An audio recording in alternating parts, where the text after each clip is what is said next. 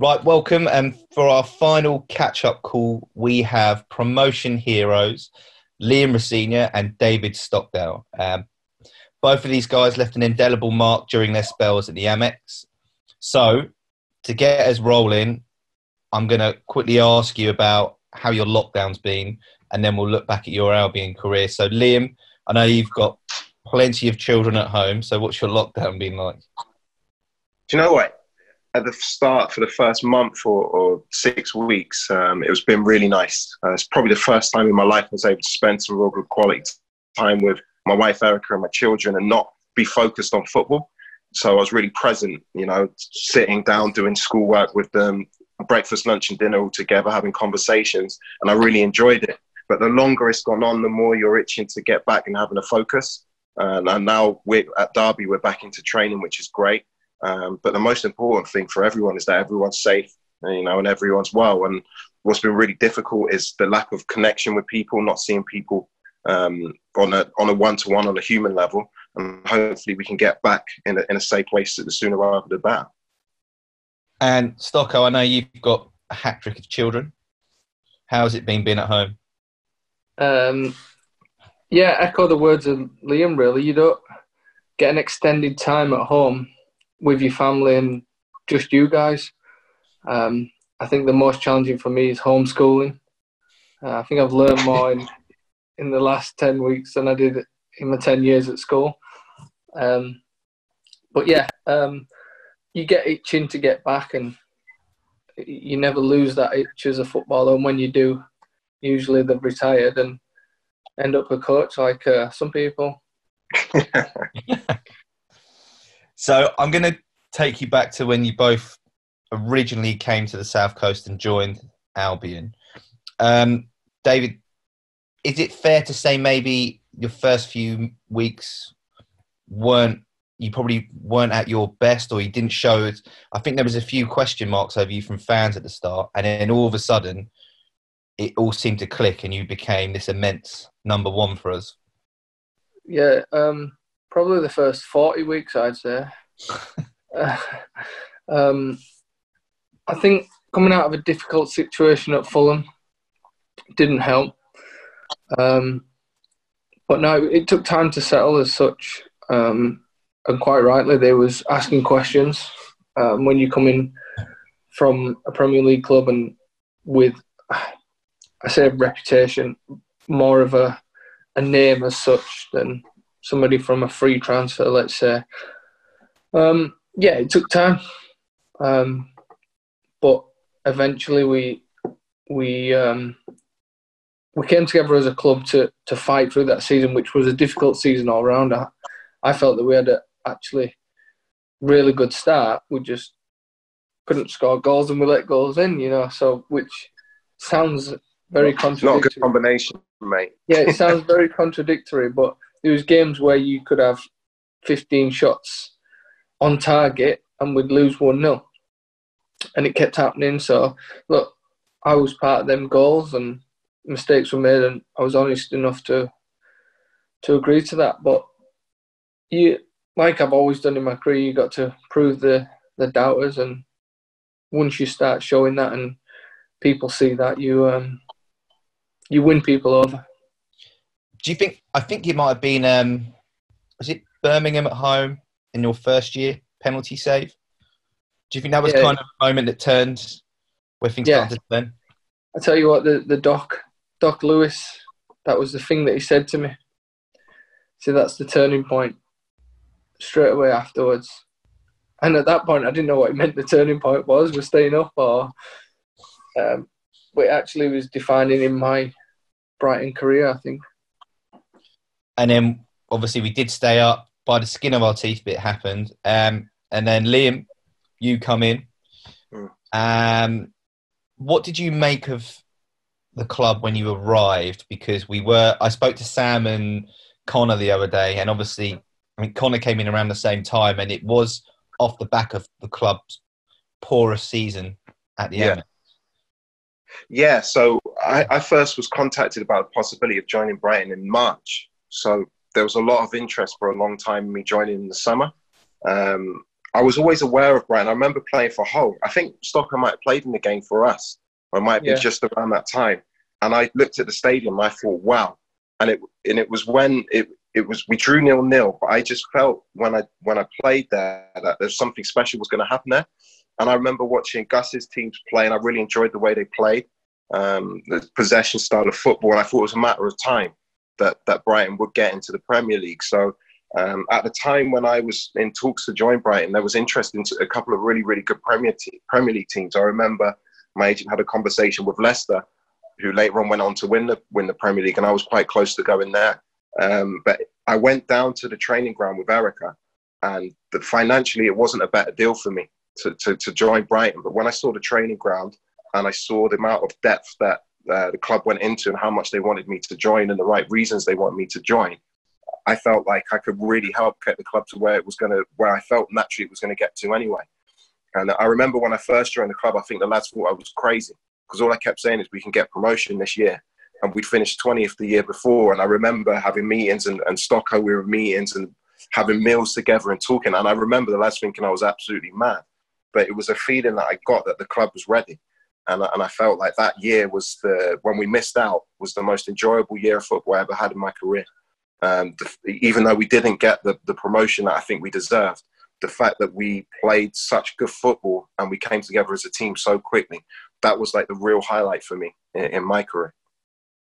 Um, you mentioned playing for Hull at the Amex. Is this the one where Vicente dribbled one under the wall? Adam Milan No, the wall was- out the way. Yeah, it went under the wall, and Steve Bruce went crazy at our wall after the game. But I actually played there before under Nigel Pearson, and we drew nil nil. Um, so I played there a couple of times, and it's just like Brighton always impressed me. And then when I saw the training ground, I was just like, wow, this club is ready, and I, and I can try and play my part in helping the club get to where it, where it should be. So um, we'll touch on that kind of end of that first year and your Stocko's second year. Um, the Middlesbrough away game, uh, you in particular, Liam, um, came out the dressing room afterwards and um, we were standing in the tunnel waiting for all the players to come out and you were very crestfallen at that moment. Can you talk us through what you were feeling at that time? Yeah, I felt. I- To be honest, I think it's been such a long time. You can speak quite openly. Um, I felt that we were robbed. I felt we were robbed at the time. Um, I felt Dale's red card. Um, I played with Gaston Ramirez at Hull. He's a great guy, um, but what he did, I think he should have been shown a red card for putting his hands on a referee. I think the referee, Mike Dean, already made his decision to give Dale the yellow card. And I just remember running over thinking it's not even a yellow card. So for Gaston to knock the card out of his hand and for a referee not to be strong enough to make the right decision and change his mind based on an injury, it cost us massively because we didn't just lose Dale for that last 30 minutes, we lost him for the playoffs. And Dale was a huge part of our team, you know, in the midfield used to hold our team together in terms of our shape. So for us to miss out on, on promotion in that way when I felt like we just equalised, the, the energy had been sucked out of the stadium. You know, Stock, Stocko would said the same. We all knew we were going to go on and score the second goal, and we still almost did with ten men. You know, and, Yeah. and to be to be robbed of that when you've worked so hard um, to try and get promotion, and you know what it means to everyone was just that was a, it was an awful day, awful day. What's your memory of it, David? Yeah, exactly. The turning point was me. I, re- I vaguely remember them scoring, and it was quite early. But the turning point for me was when we scored, and it was Dale who scored. It they actually, even when we went down to ten men, they dropped back even further. Yeah. They didn't try and finish us off. And even when we went to ten men, I was thinking, we're still going to do it. We're going to get a last minute. And I think that hurt more, made me hurt more because I had so much belief. It hurt me more. Um, but yeah, I- think Liam said everything he needs to do on that that And- decision. Which Yeah, I mean, it's not. Uh, there are the odd. There's the odd person that doesn't think it, it was a poor decision, but the majority of Albion-based people think think it was. Obviously, you said it did. It did have an impact. Took us in a man like I think we were already about Lewis for the first leg of the um, semi-final as well. Then we had all the injuries. We come back home, play fantastic. Another dodgy decision against us for the equaliser. Season's over. Mm. There was a particular image of you at the end, David, and you are um, extremely upset. So, can you talk us through where your head was after that Sheffield Wednesday game on the pitch? Um, again, I believe so much that we were going to win and win comfortably. Again, it like that's what people don't understand. It's like it's not the losing. It's like because your belief is so much, you can't believe you have lost. It's like, and we started off like a house on fire. I think we hit bar, the post, the other post. Keiren Westwood had probably got man of the match. Um, and then to get the goal that went against us with a push, it felt like. But from then, even though they scored, we, we carried on. We had three or four chances. Mm. Um, I think I think the thing was was that group of players was so tight knit. I remember after Middlesbrough stock, do you remember how we were devastated on the plane back and it was silent? And then we all decided to go into um, uh, what, what's the village called outside of, of Brighton? And we had a we had a meal together in a pub, and there were twenty five of us. I forgot Oh, the pub. I think it was in Hurstpierpoint. It was, Yeah, uh, Hayward. Heath. We were in That's Hayward. Heath. yeah. So the night after Middlesbrough, we all got together as a team, and every single member of the squad was there. And we just said we go again. And then we went into the Sheffield Wednesday game at Hillsborough, and everything happened to us, and the four injuries happened to us, and we came off the pitch and we said we go again. And I remember the lead up to the second leg, like Steve Sidwell's um, knee was gone; he was playing on on half a knee. Anthony's ankle was three times the size it should have been.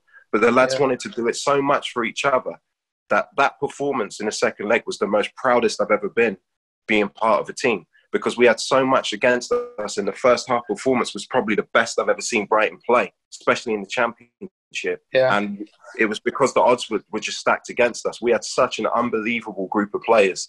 It didn't matter who was playing, who was on the bench, who wasn't in the squad. And I think that carried us through to the next year as well.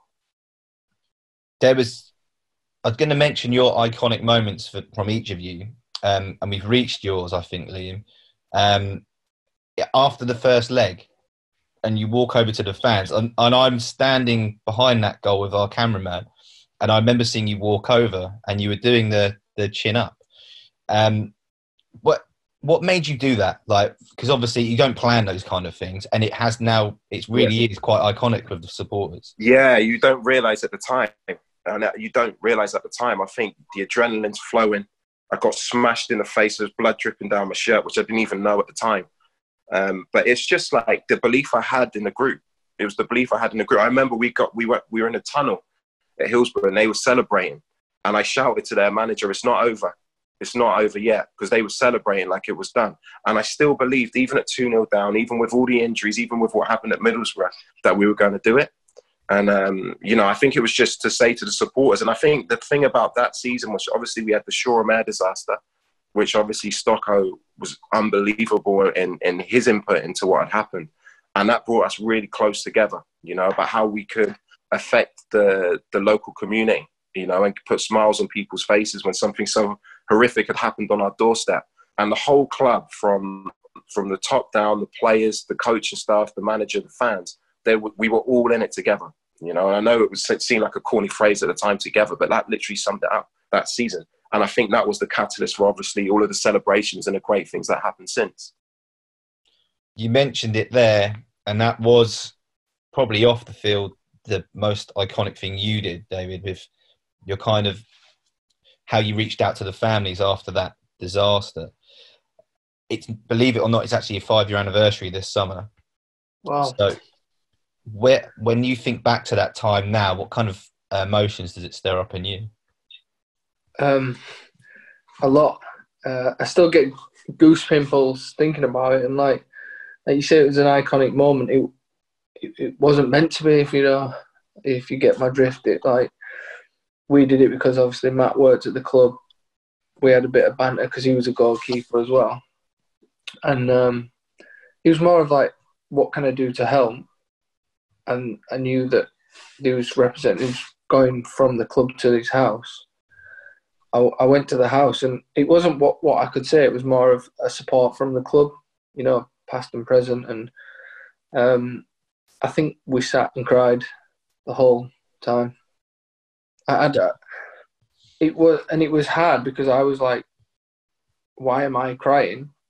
But I was thinking, as in, what if this was my family? And it, it was just, it hits so hard for me and how his mum was at that time that it doesn't matter what happens football or that I'm a footballer or that somebody says something, nothing's going to bring her son back. And although it was a, a tragic accident, it it's still emotionally uh, stirring at the time. And to be sat in a room where you think, I'm lucky here to, to still have my child. Mm. Um, you still talk to them? Um, not as much, no. To be honest, um, for years after, I don't know if he's changed his his number. His, his brother um, used to text me quite a bit, but I don't know if he's changed his number or something, or um, maybe want to leave that aspect of their life behind. I don't know. I didn't want to push it on, um, but yeah, we kept in contact um, even after I left, but not as much now. Because we we played Blackburn on the actual day of the disaster. I remember being in the press lounge, and then it started to filter through that there'd been an incident. Um, and then obviously we're we're all online and we find out what's going on. You guys are in game zone at this point. So when did the information kind of reach you that this had happened? We were, we were warming up on the pitch before the game. Yeah. I remember we got taken off the pitch. We didn't know what was going on. Uh, we heard there was a tragedy, a disaster around the Shoreham area. So the first thing I did, ran into the dressing room, took my phone, ran into the toilet, and called my wife to see if they were okay. Um, and because at that stage we didn't know anything, nobody knew what was what was going on, and we still, when we played and kicked off the game and it was delayed, we still had no idea what what had actually happened. Um, so it wasn't until after that game, you know, I think it was uh, that we heard literally what had happened, and it was absolutely devastating to, to everybody. And we used to, obviously, where the training ground is, you, you from where every player was driving past that that the crash site every day. You know, and the club yeah. had opened up the, the training ground to the, to the police and the support staff in terms of dealing with the with the accident. So we were literally every day we were training after that, seeing it firsthand. And I think that really did affect the, the players massively. I don't know about you, Stocks. As a group, I yeah. remember us coming together. We had a meeting in the in the training ground dressing room, and Stocks. I remember you speaking in it, and Bruno spoke in it as well. Just saying, lads, all, all we can do is play football and make people happy in that way, and we have to stick together. And after yeah. that, I think in that period we went 23 games unbeaten, um, it was, and it was a huge motivating factor for us. Because the next, um, I think there was a League Cup game and then we had Ipswich, which we won. That's when you uh, wore the gloves for the first time, I think, wasn't yeah. it, David? Yeah. Um, and then there was this. I think there was may have been an international break, so there was a bit of a gap, and there was a big build up to the next game, which I'm assuming you two had already looked at because it was against Hull. Um, yeah. And then the tributes that went around that. How much did you see of it, and what did that day mean to both of you?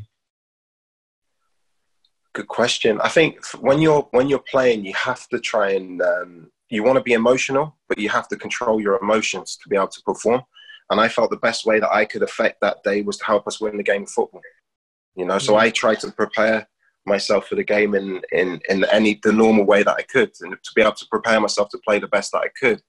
Um, and for me personally, I had an unbelievable time at Hull. Um, it didn't end how I expected it to end, and I know the reasons why but I'm so thankful in a way that it did because it enabled me to come to an unbelievable club at Brighton. And uh, there was no real, I didn't feel like I needed to prove myself in, in, as a player in that game. I just wanted to win the game for Brighton. And unfortunately, I think we played really well um, that day. We won 1 0, but it could have been three or four. And it gave us belief because Hull had just been relegated from the Premier League. And I thought we were a class above them that day. And it gave us even more confidence moving forward. What about you, David? Yeah, there's a lot going on outside. For, I don't know how much of it you were aware of and how much you saw during the warm up because there was a lot of tributes going on with giant shirts and um, yeah. family and friends there. We we didn't see much because obviously warm up they couldn't do a lot with the pitch, and like Liam says, you you're trying to concentrate on the game because if you let outside emotions get to you, it can affect the game. And we wanted to do well, especially on that day, not because of our ex clubs or whatever, but for the occasion that it marked. Um, so we didn't really get to see much, and all the photos and things that came out after was good to watch. Yeah. Um, but yeah, it, for the whole thing, I, I was well received at Hull, and I still am because I was on loan. So it wasn't like a, a longevity thing. I was on loan, did well, and we got promoted. So I was like in and out, did well. So it's a good good feeling. So I, I'm not one really to say, oh, it's Hull, I need to do this, I need to do that. I enjoy playing against my ex clubs because it's always a chance to show, but there's no spite as such or anything like that. Um, it was more of the occasion for, for what it represented, and it could have been anyone that was playing, to be honest. Well, as I said, it is five years since that tragedy, so I'm, I would hopefully maybe speak to you close to the time. Um, I'm sure Yeah. as a club we'll be marking the the date. Um, and I just remember that we got a lot of fantastic comments about what you personally did, David. So I know it did make a huge difference to people. Back, It made a, it made a difference to me, to be honest. It changed a few things in my life. Um, hum, humble. It made, made you more humble at, um, outside of football, and that, that sometimes there's more important things, even though you get sucked into the life of football. Um, a tragic accident or or a mysterious accident or anything like that can change the course of people's families' lives and affect a lot more people than than us. So it, it changed a few aspects in my life. well, back onto the pitch, and we'll look at some chirpier times now. I've made a little list um, of the games I think were key in that promotion year. Mm. Birmingham away, Fulham away, Sheffield Wednesday at home, which we'll talk to you a little bit more about, David. QPR away. Is there any other game in there and that I haven't mentioned that you would look when you look back at the season go, no, that one was just as important? It's weird because it's those games were vital, but I think every game was vital. Every, every single game we played, and I think we the squad. Um, every single game that year was like a cup final for us because we we wanted to do it so badly, and um, it was hard for me because I had my, a really terrible injury early in the season. I, it was the best I felt for years, um, but every game I remember I was injured, but I would be listening to the radio, you know, and I knew other injured players were listening in on the radio. So we wanted the club to do so well, and it didn't matter who was playing and who wasn't. Um, for me, my, my highlight that season personally was was uh, Derby at home when we won three 0 um, because I, I You were showboating. showboat, yeah. I've got all the No, clips. That that day was mad because I came back. I, obviously, I broke my leg. I've been out for for however long, nine, ten months, and it was a free game week, and I had to play three games in six days. And I remember lying in my house on the day of the games. It was a night game, and I literally just lay in a room for two hours and meditated. And I was limping, and I couldn't play. All of a sudden, the whistle went, and I played, and I came off. And Bruno said, "I'll never forget you walk off the pitch at Derby." He said, "I was watching you, and you just started. As soon as the referee blew blew the whistle for full time, you just started limping again." But that was great because I remember Uwe came came into the team that day. There were a few other changes where lads had to, uh, Fikayo had to come on, and it was like that performance summed up the group. It didn't matter who the first team was; everybody wanted to do it that year. Yeah. I remember you talking about that in the documentary about that game. I, you had two injuries um, with us, and I remember the first one was Birmingham at home the year before. You a 50-50 and you just went flying. Yeah. Um, but you seem to come come back from that one uh, relatively quickly compared to the one that happened at Reading, where you basically got done, didn't you?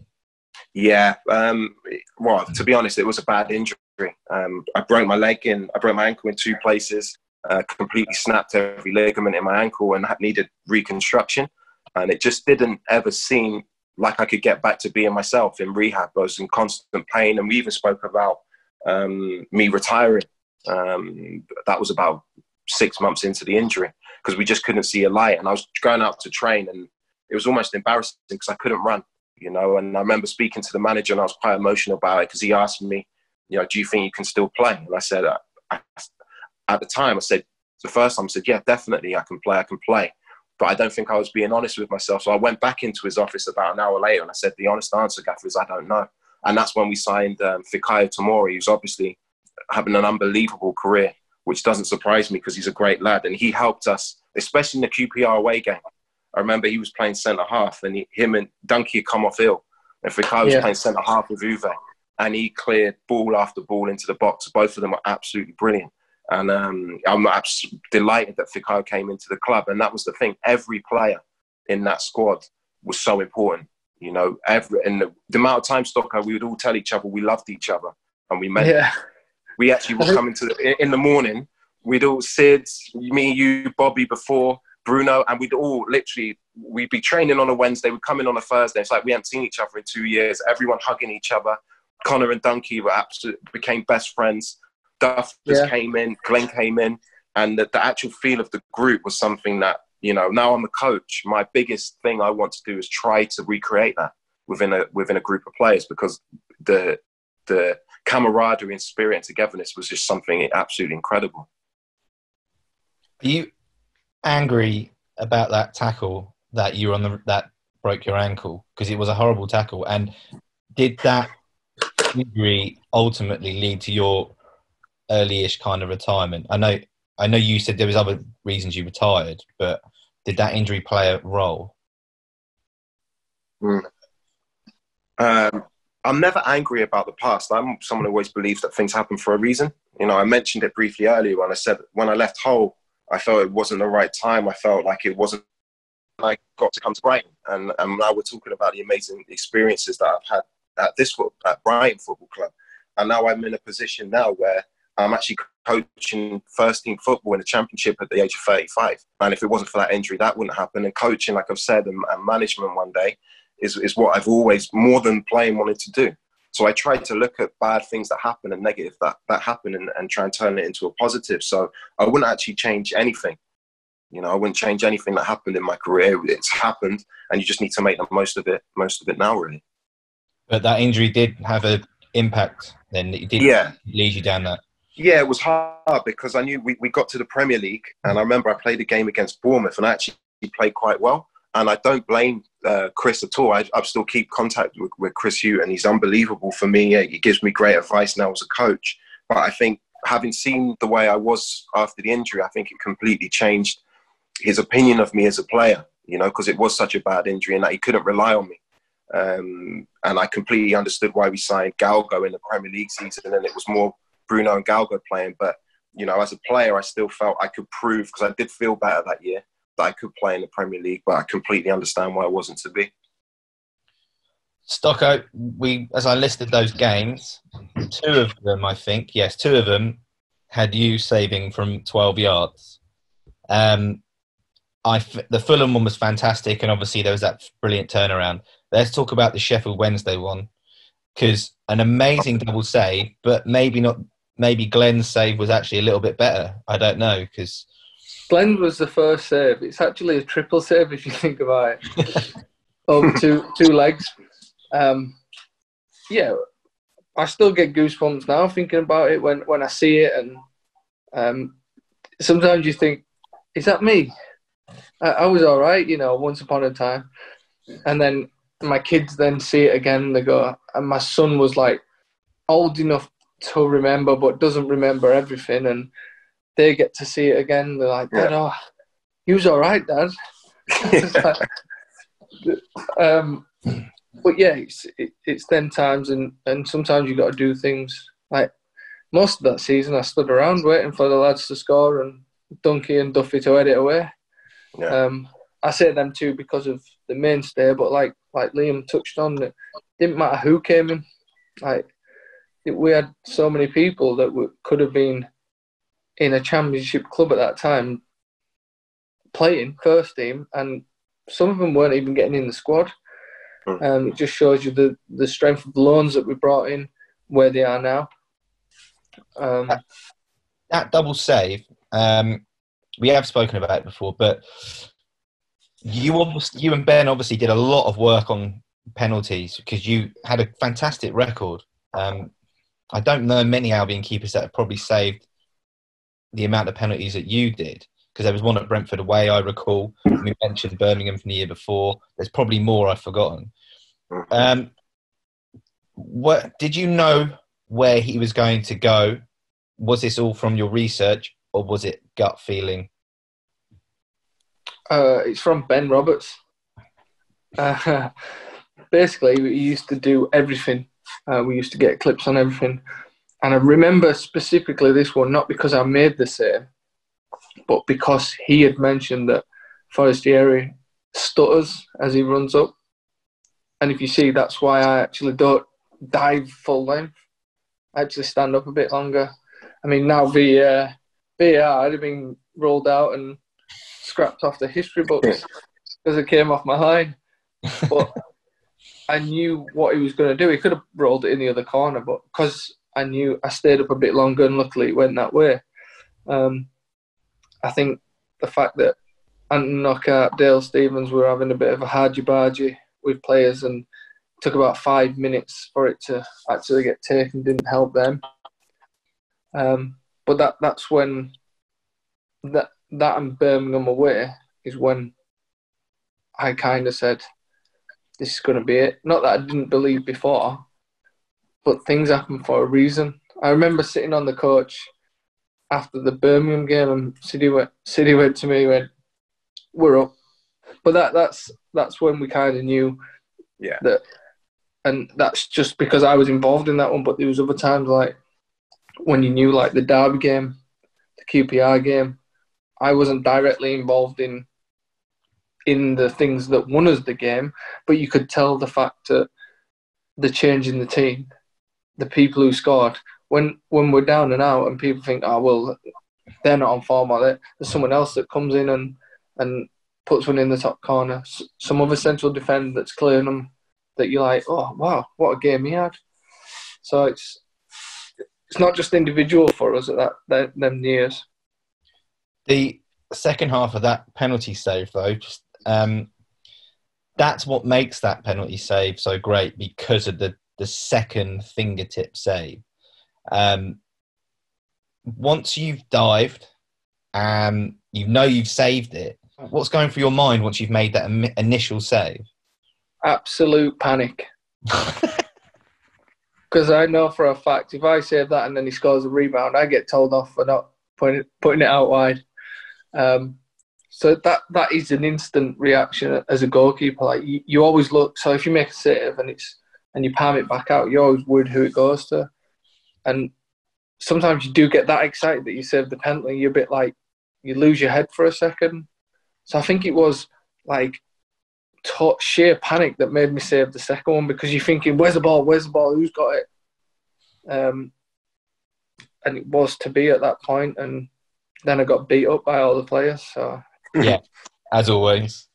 Um, obviously, that is a take the second half of that penalty save out, because and just as a the initial penalty save, as I said, you saved quite a few for us. What one would be the one that you thought was the best, just general penalty save?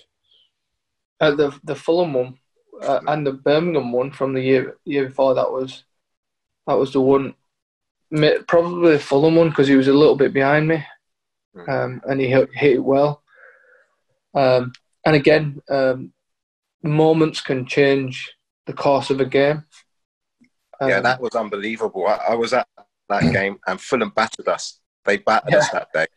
And obviously it was they, they I remember they went one 0 up and then obviously Stocko made the penalty save.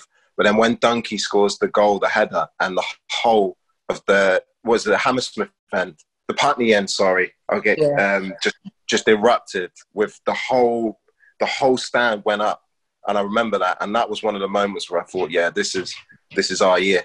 You know, Thomas scored, and and and Dunkey's Yeah. run up the pitch for no reason, headed it in the net, and it was just yeah, unbelievable day. And I was actually there. I was still injured at the time, but I was in a tunnel, so I used to want to travel with the lads and just be a part of it. And I just remember jumping around. It was, uh, that was an unbelievable day. Unbelievable.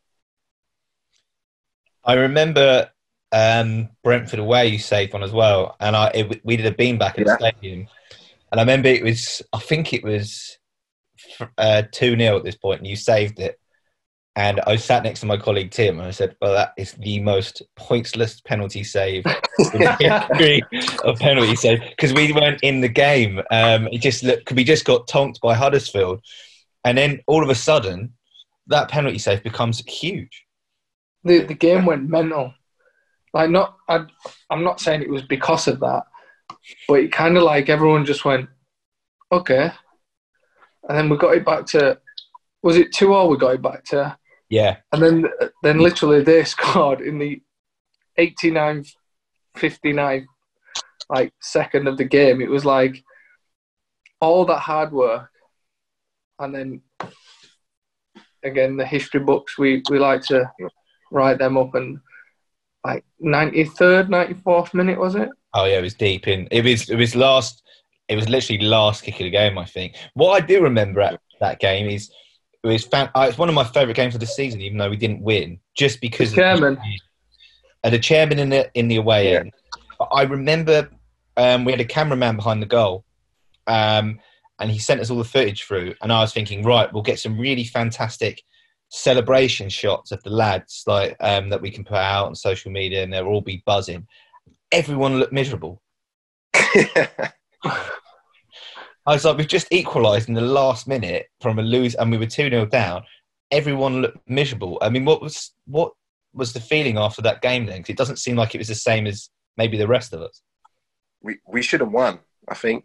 yeah I think that was the I think that was the driving force of of what we had in that team was no one accepted less than hundred percent.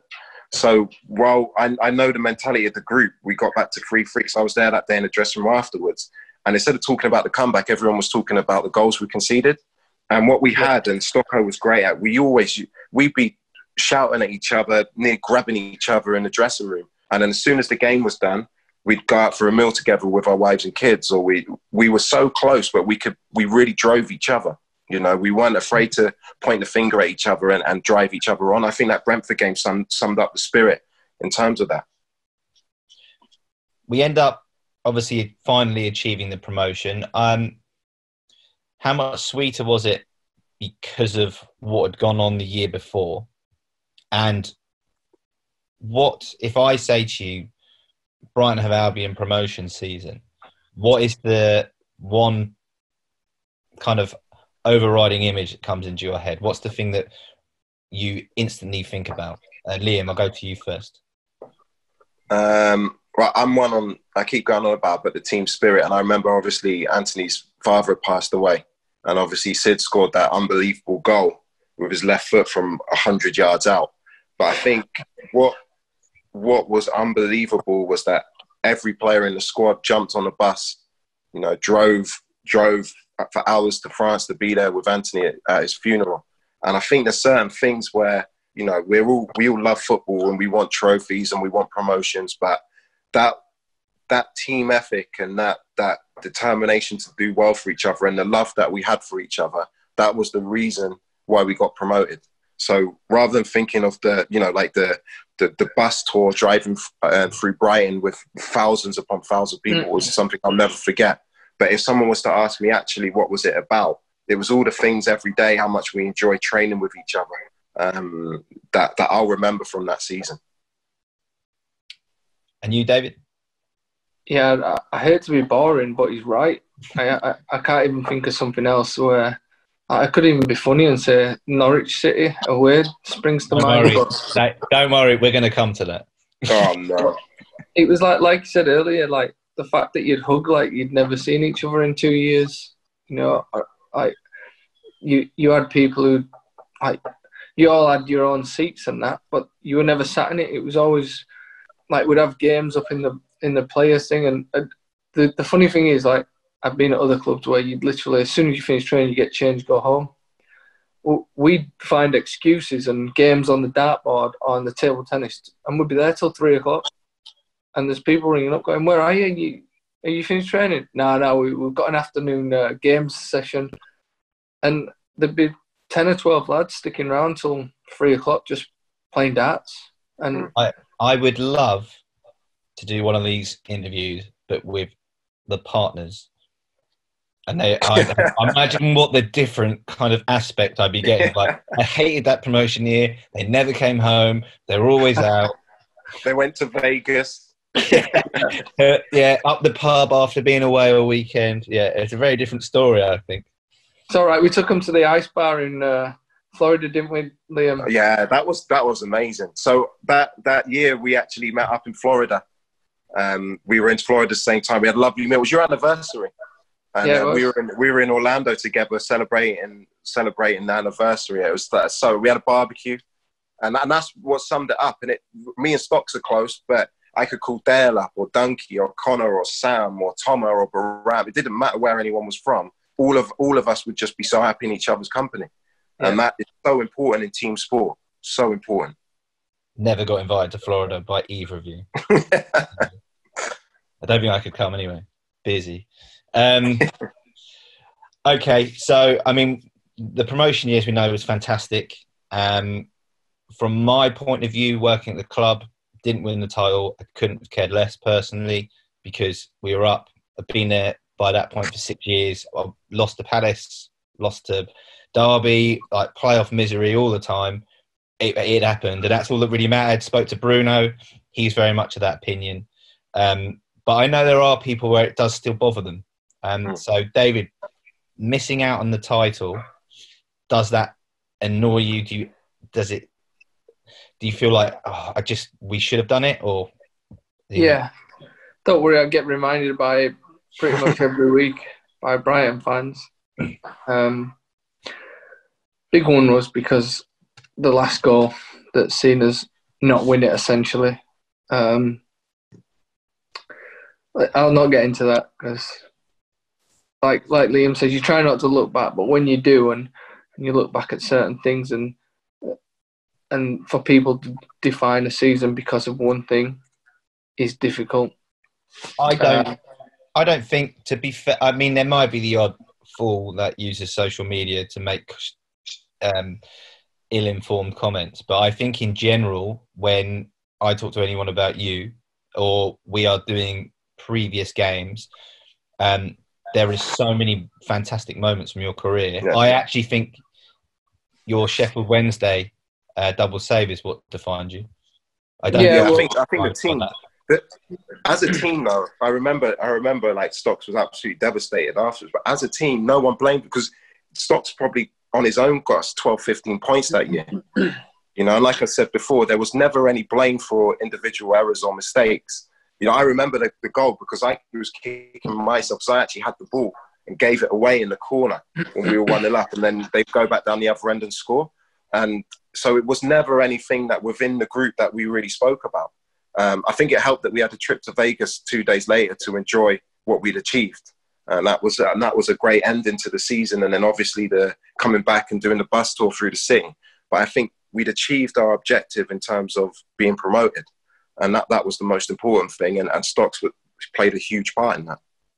It, I mean, do you class it as an error? Because I, from what I could see, it was a didn't it take a deflection and you just got wrong third? I wouldn't class it as a. Um, as Liam will tell you, I'm always the first to tell you when I think I should do better. Some sometimes you should keep your mouth shut, but I'll I'll be honest, and mostly in the changing room with the lads. It was a shot that any time you'd normally just get across and save, but it was, you know what Donkey's like putting his head or his foot in the way.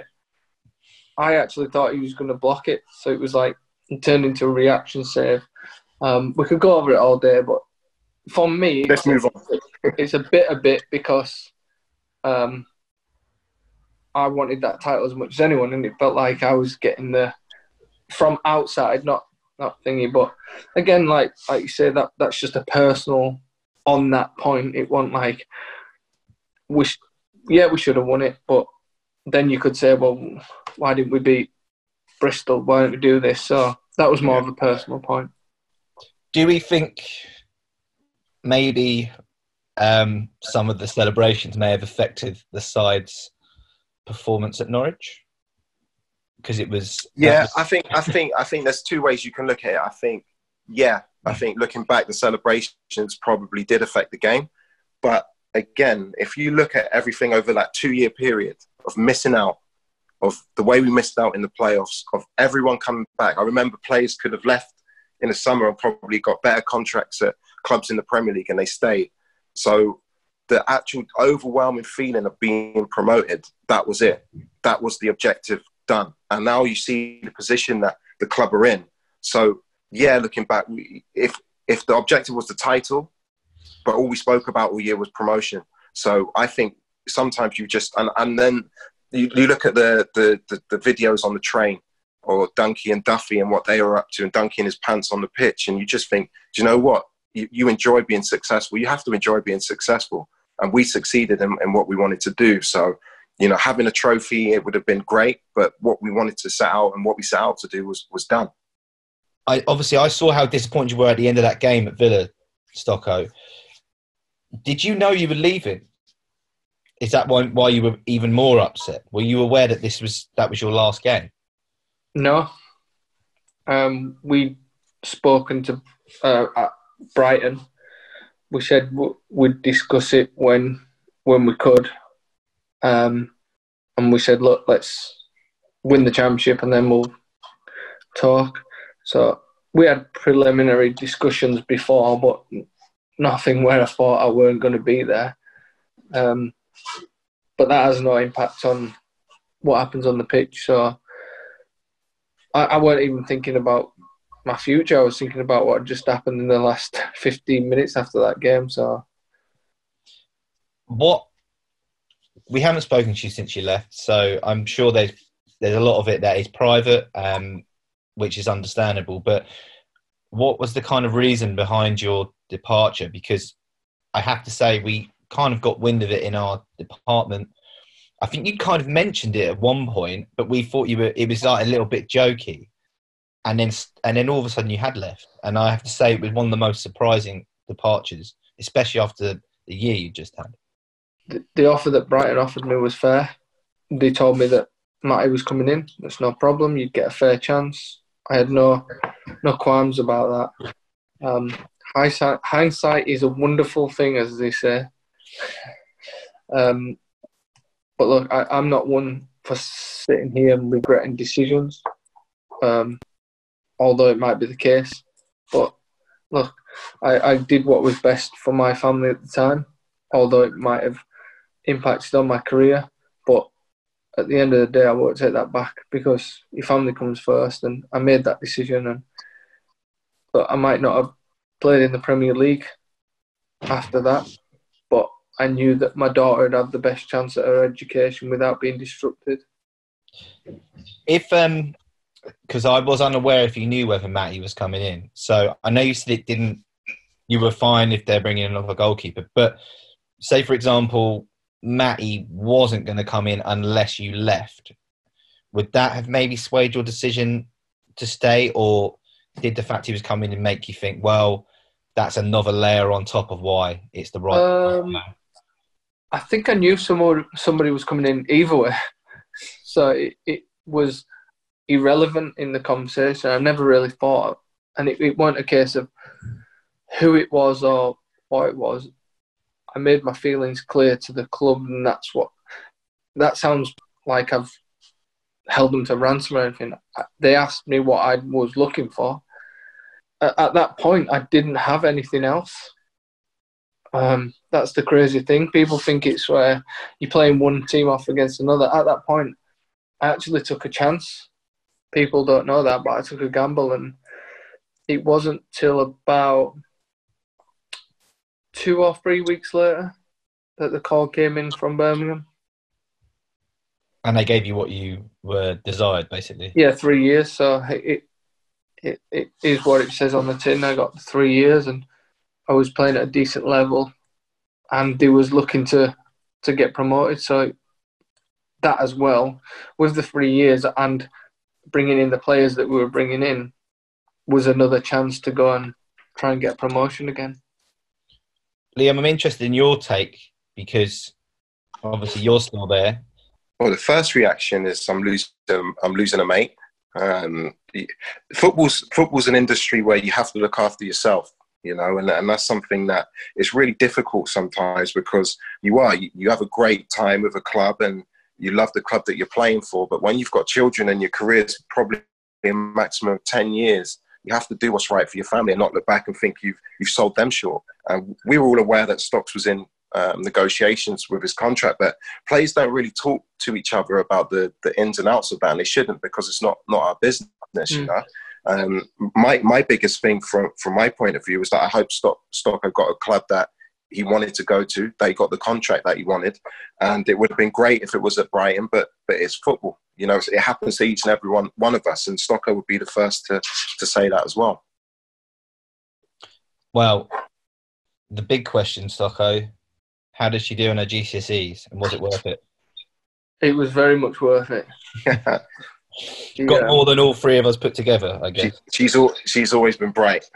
Yeah, um, she got uh, she got uh, nine plus, and then she got uh, she got about she, I can't remember what it's called. The nine, a nine is like an A star star, and then she got three eights and two sevens or something like that. So like A's, A stars, A stars, and B uh, A's. So look, I, that to me, when she got opened those those results, it, it was more than enough, and then no regrets were were taken. Did you ever say when if you caught her maybe not revising, don't I left Brighton for this, so well.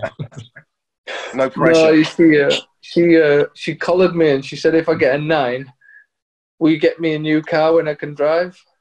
I said maybe not a new car, but I'll buy you a car. But I thought they was still A star A and B. I thought I was going to get a nine. didn't even know the didn't even know the results.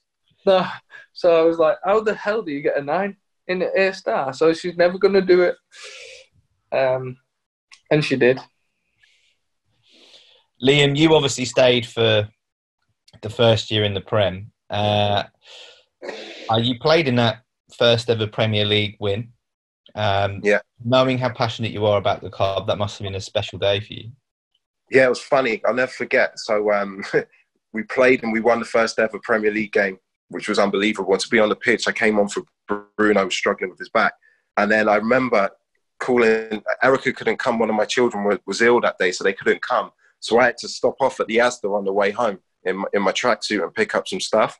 And I walked into the Asda and there must have been about 50 Brighton fans in there I think they're all picking up alcohol from Asda, and I'm going in there just to get some Calpol for my little. And, and I think that summed it up for me in that it, it was such a great thing, but at the same time, it was just like normality. It's normality now. We're in the Premier League. So, um, yeah, that was a good day. That was a good day. We were brilliant that day. We beat West Brom. I remember Thomas scoring a header. Um, and yeah, I think that we really kick-started the belief of the, of the lads that year. Is that the day you slapped Paul Hazlewood round the face celebrating?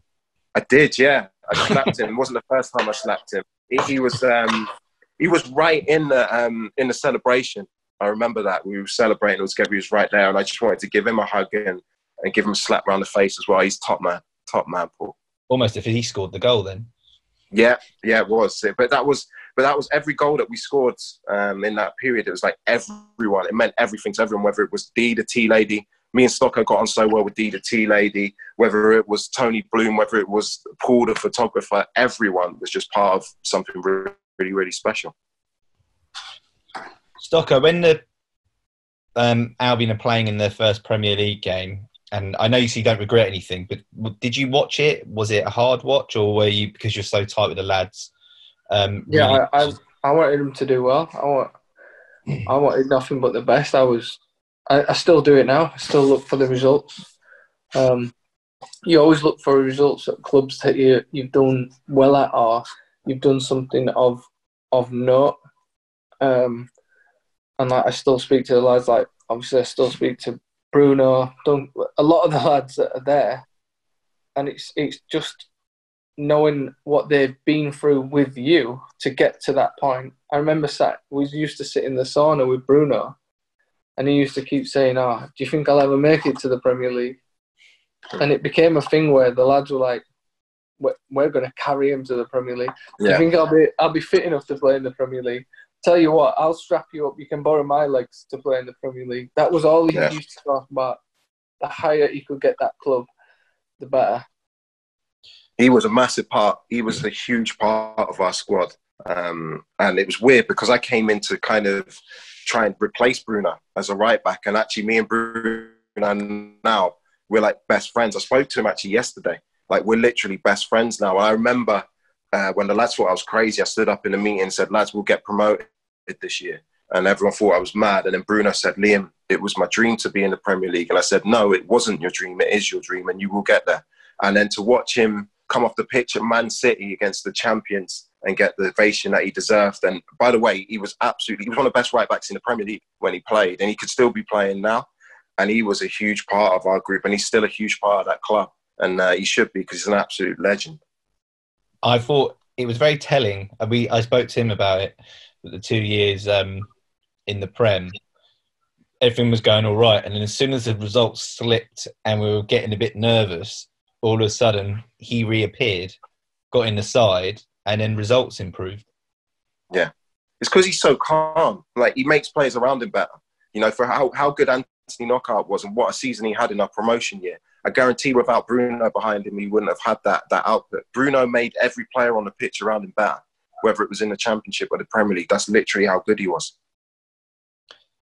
So Bruno obviously hung up his boots uh, in last summer. Um, you hung up yours nearly two years ago, Liam. Um, what are you thinking now? Because um, as you said, you don't tend to regret anything. So I'm assuming the decision still sits right with you.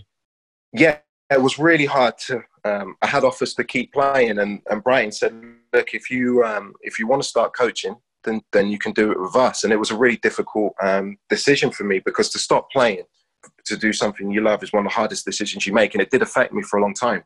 Um, but then I made the decision. As soon as I said, "All right, I'm making the decision," I'm not going to look back and think about starting my career again. That's the decision I'm going to go down. And what was great for me is I managed to start my coaching. I was doing Sky as well at the same time. So I was really busy mentally. I was so busy working. I was working seven days a week. And I needed that period to not think too much about playing anymore. And it was an absolute, that year working with the under 23s, Simon Moruski is an absolutely outstanding coach. Shannon Ruth, unbelievable goalkeeper coach. They're, they're still there now. Spoke to Shannon and Simon yesterday as well. Keep an eye out on the on the lads that are there. And I learned so much in that period. And then obviously Dan Ashworth came in and I got to see things, how things can change at a football club um, getting coaching experience every day was the best decision I ever made. And I can't thank the club enough for, for giving me that opportunity. And we joked about on text, but you are basically telling Wayne Rooney how to play football. I wouldn't say I'm telling him how to play football.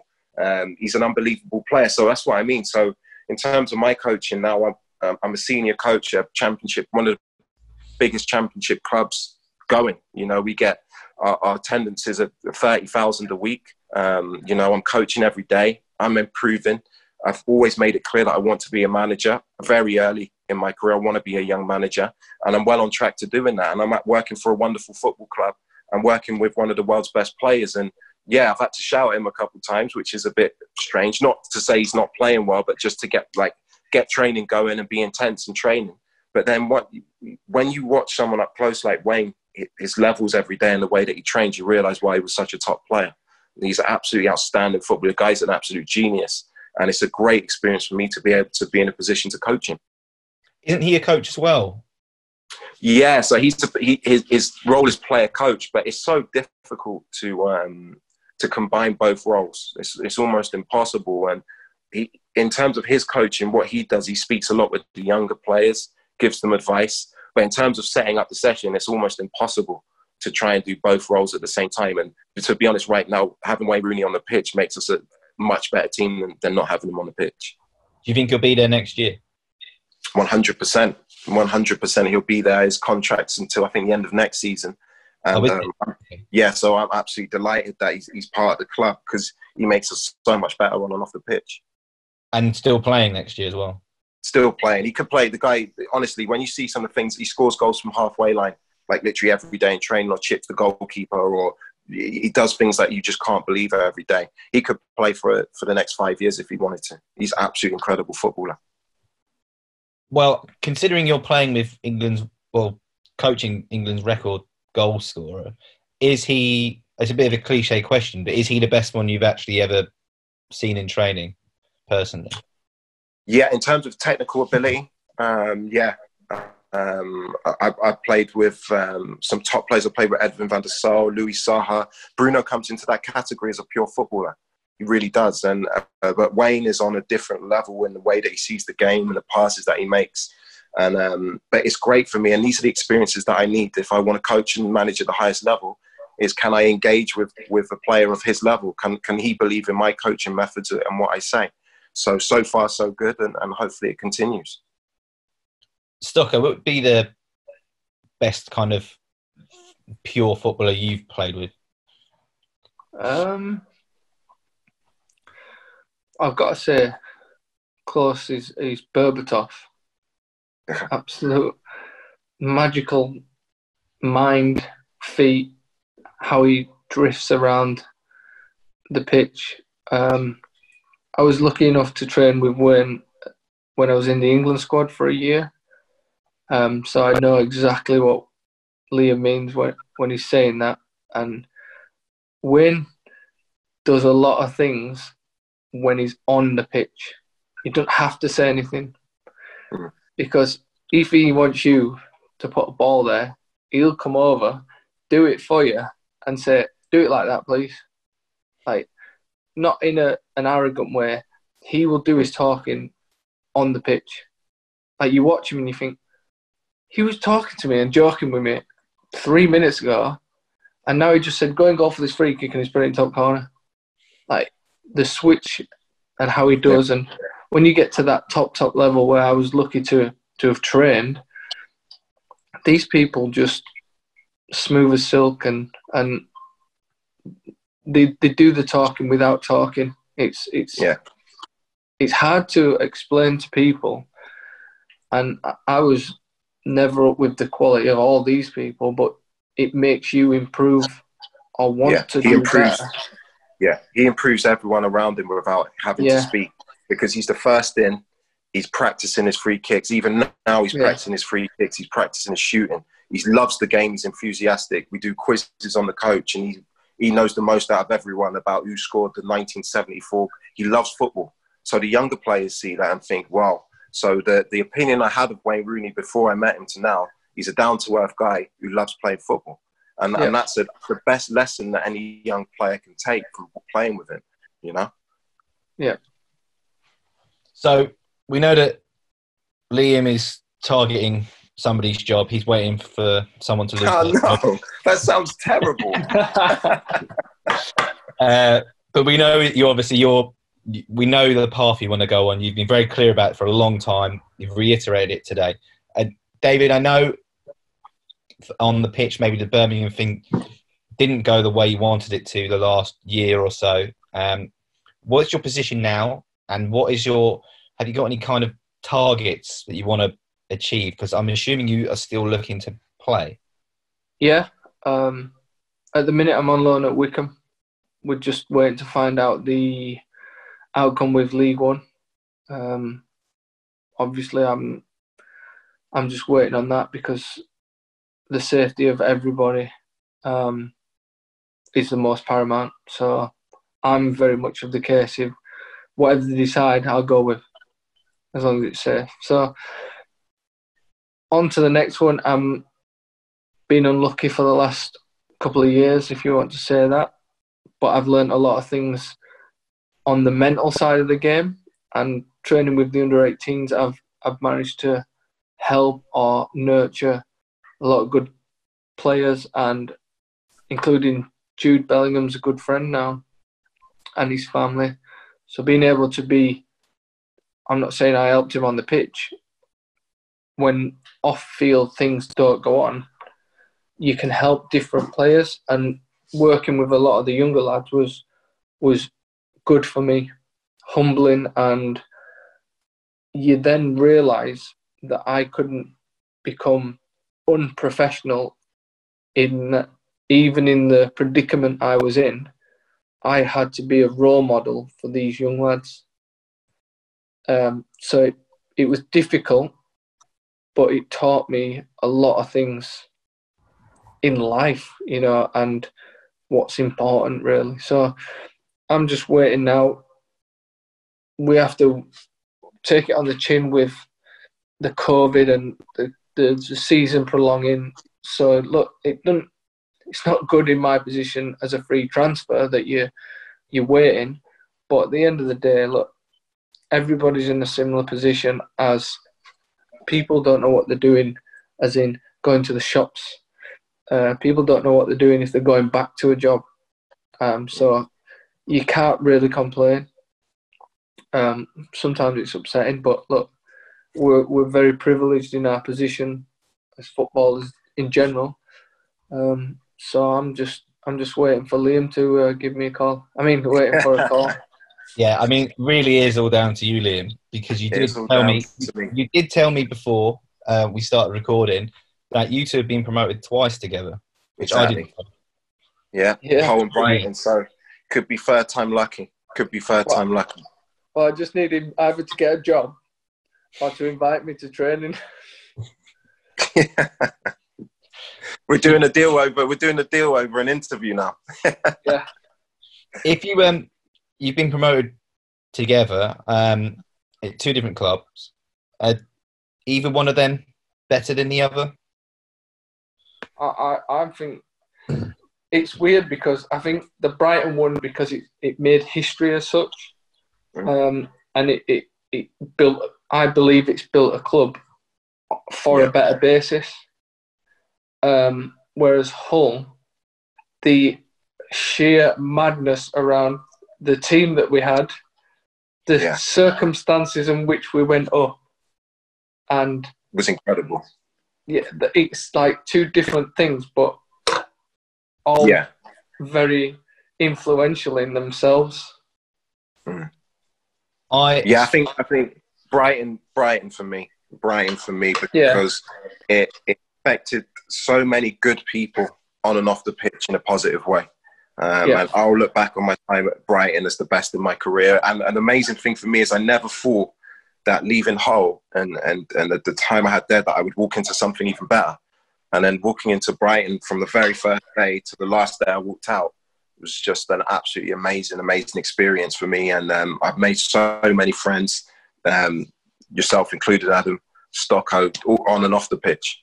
Um, and it's just like, even now watching the lads playing like Dale, Dunkey, Bruno's now coaching the first team. I speak. We're now speaking. Our lives have kind of moved forward into a new into a new era. Um, but I'll look back on my time at Brighton as by far the best time of my career. Enjoyed every moment of it.